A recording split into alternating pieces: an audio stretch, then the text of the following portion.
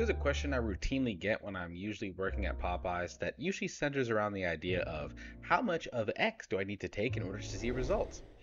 And it's kind of staggering how many people don't actually know the answer to that question. It's simpler than you think, despite how vague it seems. And today we're going to get into that.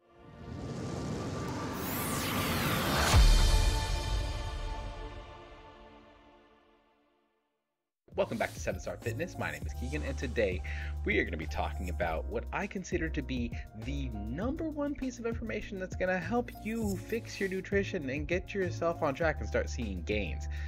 It's way simpler than a lot of people think, but also something that is skipped far too often. So let's get it right down to the quick here. If we're going to be talking about for example, a weight gainer, because that's one I hear this a lot around.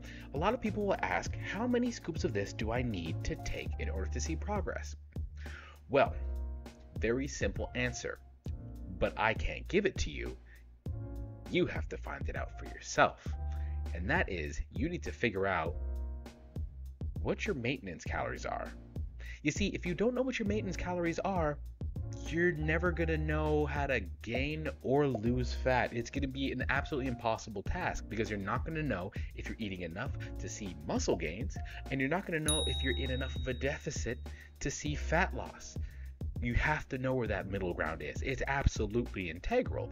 So, the first thing you should do, figure out what your maintenance calories are. Because after that, the math is pretty simple. You figure out what your maintenance calories are, then what you're currently eating, and then how to bridge that gap. If you're bridging that gap entirely with the weight gainer, the amount of weight gainer you should be taking in order to see results is the amount of calories you need to cover to get to a surplus. Pretty simple, right? Something very similar is usually said when it comes to the area of fat loss. A lot of people will think to themselves, well, you know, I want to take this protein to build lean mass and, you know, just kind of, you know, get more defined. But how do I do that? I'll be honest, a lot of people say toned, but we're not going to talk about that word. That word is garbage, but we're not tackling that today. Another day. Point is, a lot of people will try to wonder, you know, I don't know how much protein I should take. Is one scoop enough per day? Is two scoops enough per day? It's a very simple equation again. You need to figure out how much protein is optimal for you to intake so you can build muscle, and you have to figure out how much you're actually eating now. Then, calculate the difference between those two things, cover the balance with the protein powder. Very simple, right?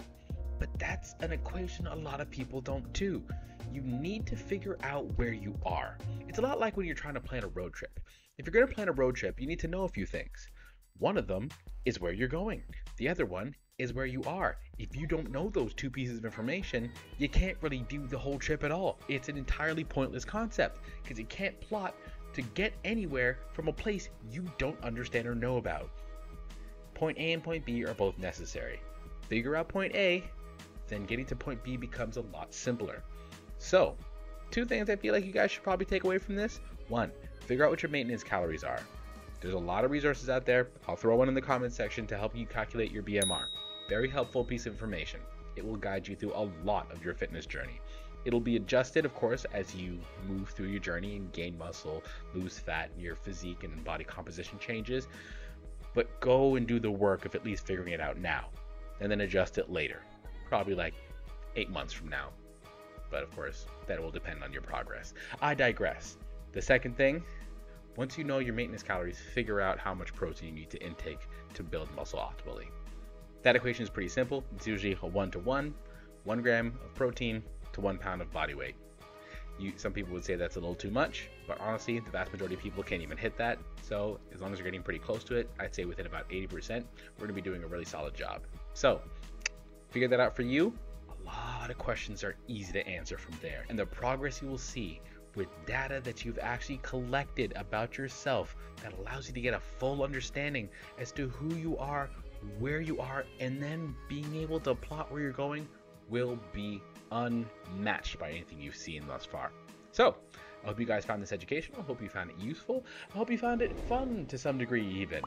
And of course, if you did, please hit the like button and the subscribe button below. And of course, please comment if you have any other tips or pieces of information that you feel like are huge hacks to help you see results in your fitness journey. I want to hear about them. talk about it in the comment section. Let's have a conversation. I love hearing from you guys. And of course, stay shining. Because the galaxy can only be a bright and beautiful place if we all shine together. Peace.